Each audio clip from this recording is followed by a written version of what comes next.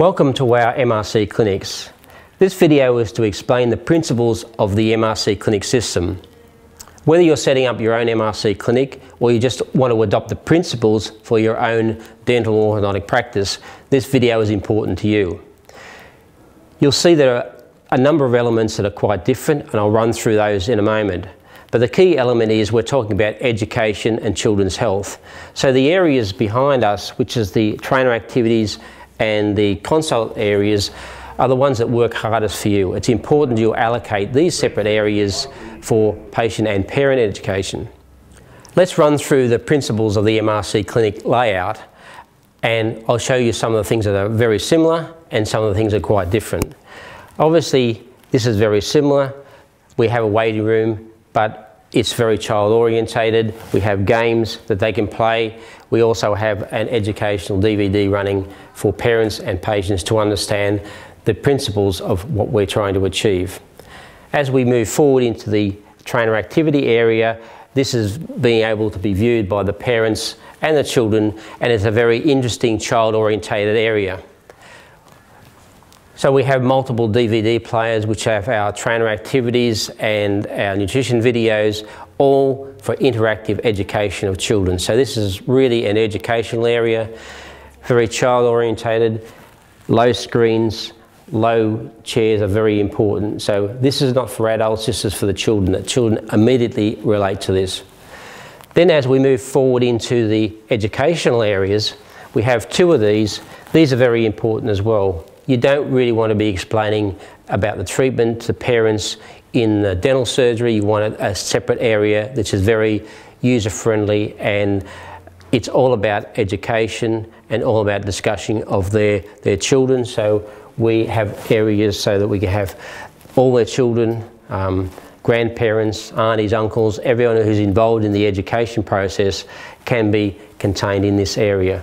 So we have two of these, as I said, it's important not to be able to um, be tied up with waiting for patients to go into the consult area. The idea is that patients come in and very quickly they're seen in the, either the activities area or the consult area.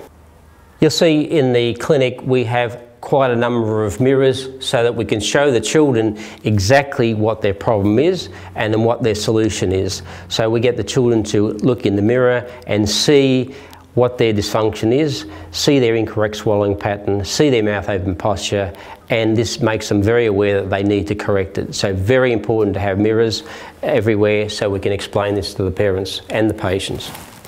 Then as we move through here, we have three regular uh, surgeries or operatories.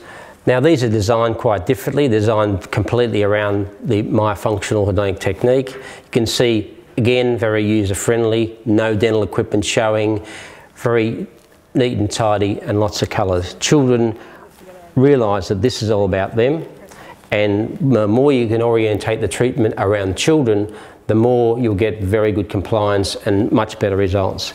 Here we have a larger surgery, again, two mirrors. We can do everything like adjusting BWSs, even fitting brackets, all that can be done in here very quickly.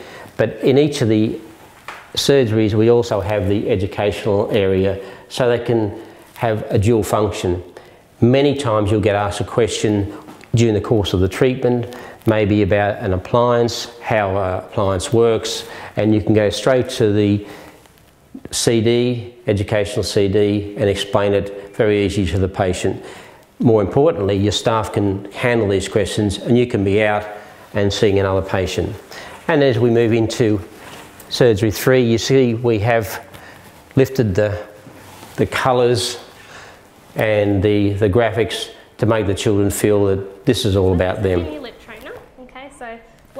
Now, very important is to have a separate records room now, when we need to take photos, which we do every three months, start of the treatment every three months, and um, when we change an appliance, you don't want to be tying the patient uh, and the surgery up in those areas when you've got other patients in the waiting or activities area.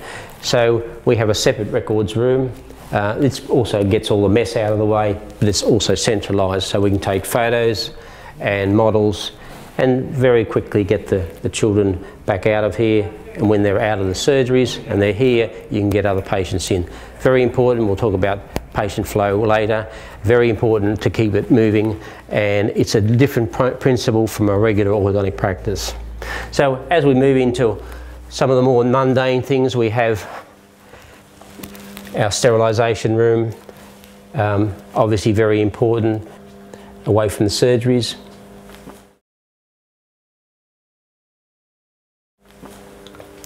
Regular lab.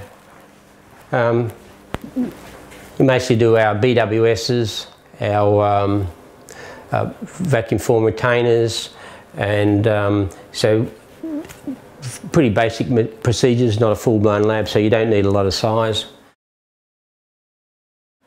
One of the important things is education, which I said parent and patient education, but also education your staff and your other doctors. So we have this central educational area where we devise treatment plans.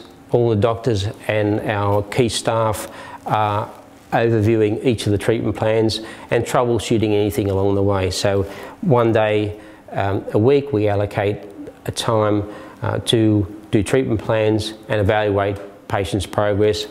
And also we get uh, the doctors and our uh, therapists to do case presentations so we can all learn from the experience of, of what's happening with some of these patients.